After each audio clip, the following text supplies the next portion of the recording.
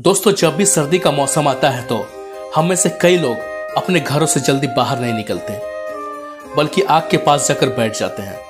मगर दोस्तों, क्या आप जानते हैं कि दुनिया का पांचवा महाद्वीप अंटार्कटिका पूरी तरह बर्फ़ की चादर से ढका हुआ है, जहाँ पर माइनस चालीस से लेकर माइनस नब्बे डिग्री तक ठंड पड़ती है, जहाँ सूरज की रोशनी भी साल में कुछ ही महीनों के लिए पड़ती है, जिस कारण यहाँ के समुद्र का पानी भी बर्फ़ के रूप में जमा हुआ रहता है।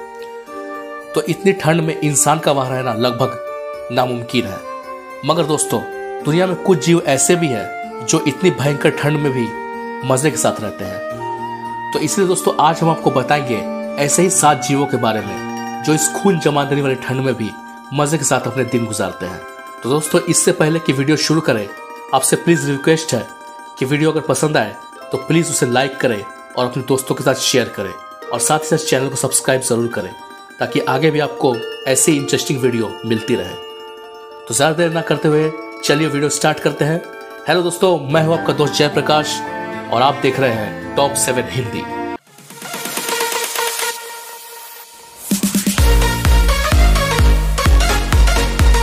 नंबर सात कैरीबुआ रेंडियर दोस्तों, हिरण की यह प्रजाति पृथ्वी से दूर बर्फीले अंटार्कटिका और उप अंटार्कटिका इलाकों में पाई जाती है। वैसे तो इनकी आबादी इतनी है कि इस जानवर के विलुप्त होने का कोई खतरा नहीं है, लेकिन इसकी कुछ किस्में संकट में है।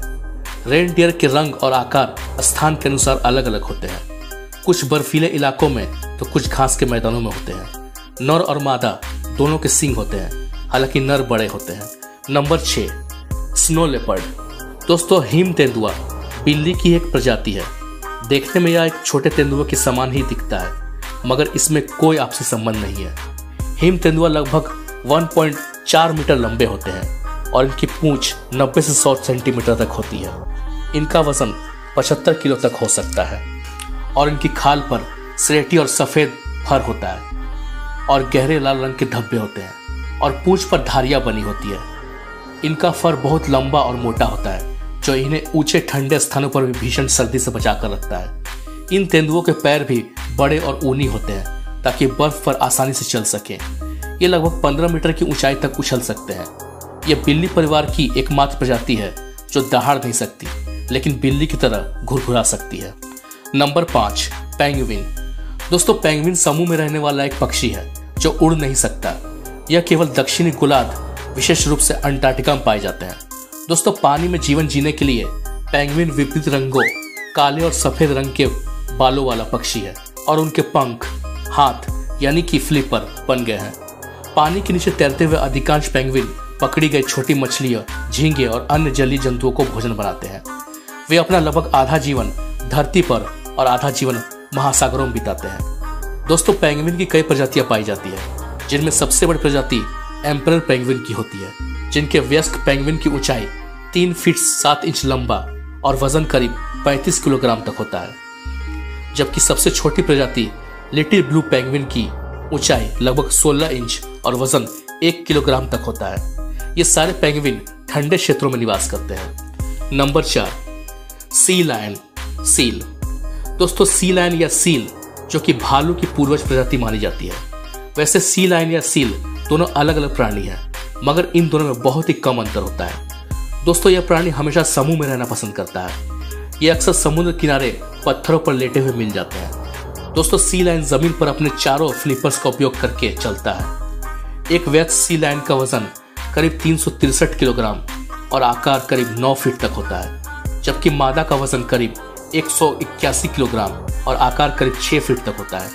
दोस्तों सी लाइन एक बहुत ही बुद्धिमान प्राणी होता है, जो अपने भोजन में मछलियों और ऑक्टोपस को भी खा जाता है। नंबर थ्री किलर वेल दोस्तों नंबर तीन पर आता है किलर वेल दोस्तों, ये जीव डॉल्फिन प्रजाति की सबसे बड़ी सदस्य है। ये एक परभक्षी है, जो दूसरे बड़े समुद्री जीवों का शिकार करती है, जैसे कि सील डॉल्फिन आदि। दोस्तों, किलर वेल काफ़ी समझदार और चतुर प्राणी होती है और शिकार करते समय अपनी बुद्धि का प्रयोग करती है। अपने नाम के विपरीत, यह कातिला स्वभाव की नहीं होती है और यह इंसानों पर आक्रमण नहीं करती है। दोस्तों, एक व्यस्क किलर वेल की लंबाई 6 से 8 मीटर तक और साथ ही इनका वज़न 6 टन से भी ज़्यादा होता है। जबकि मादाएँ 5 से सात मीटर तक लंबी और तीन से चार टन वजनी होती है। नंबर दो, वॉलरस। दोस्तों, वॉलरस अंटार्कटिका में रहने वाला विशाल स्तनपाई जीव है। इसकी विशेषता इसके दांत, मूछे और इसका विशाल शरीर है। एक वयस्क नर का वज़न 2000 किलोग्राम से ऊपर हो सकता है। यह मुख्य रूप से उथले समुद्री तटों के हिस्सों में निवास करते हैं और अपने जीवन का महत्वपूर्ण भाग बर्फीले समुद्र में ही भोजन की तलाश में गुजारते हैं। वॉलरस लंबे समय तक जीने वाला एक सामाजिक प्राणी है। दोस्तों, अंटार्कटिका से बाहर आए कुछ लोग वॉलरस का शिकार, मुख्यतः इसके मांस, वसा, त्वचा, दांत और हड्डी के लिए करते हैं। उन्नीसवीं और बीसवीं शताब्दियों में वॉलरस का शिकार इसके दांत और चर्बी के लिए बड़े पैमाने पर किया गया है, जिसके कारण इनकी संख्या में कमी दर्ज की गई है। हालाँकि अब इनकी संख्या वापस से बढ़ चुकी है। Number one, polar bear. तो दोस्तों, इस लिस्ट में नंबर वन पर आता है पोलर बेयर। या कहे ध्रुवीय भालू, जो अंटार्कटिका महाद्वीप का सबसे बड़ा मांस भक्षी जीव है, जो अंटार्कटिक महाद्वीप का सबसे बड़ा शिकारी है। दोस्तों, एक वयस्क नर का वज़न साढ़े तीन सौ छह सौ अस्सी किलोग्राम तक होता है और इनकी लंबाई ढाई से तीन मीटर तक होती है, जबकि वयस्क मादा का आकार नर से आधा होता है और इसका वज़न आमतौर पर डेढ़ सौ से ढाई सौ किलोग्राम तक होता है। दोस्तों, ध्रुवीय भालू का मुख्य शिकार मछलियाँ और सील होते हैं। इनकी त्वचा मोटी जिस पर घने बाल होते हैं। जिस कारण ये अंटार्कटिका की माइनस अस्सी डिग्री वाली ठंड में भी बड़े मज़े के साथ रहते हैं और शिकार करते हैं।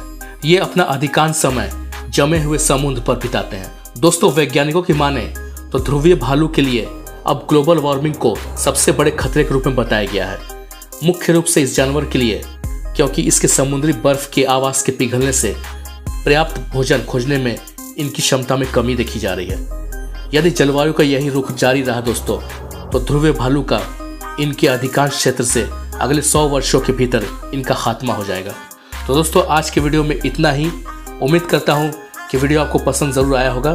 तो मिलते हैं अगले वीडियो में एक नए इंटरेस्टिंग टॉपिक के साथ। तब तक के लिए नमस्कार, जय हिंद।